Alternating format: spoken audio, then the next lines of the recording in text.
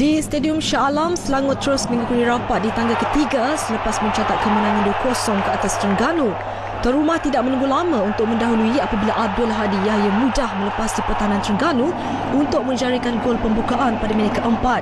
Tersentak dengan gol awal itu, pasukan pelawat cuba bangkit dan hampir menyamakan kedudukan namun gagal menemui sasaran. Kealpaan barisan pertahanan Terengganu terus dihukum apabila Robert Conway menambah gol kedua pasukan tuan rumah pada minit ke-23. Selangor menguasai permainan pada babak kedua namun tiada jaringan tambahan dilakukan dan kedudukan 2-0 kekal hingga tamat perlawanan.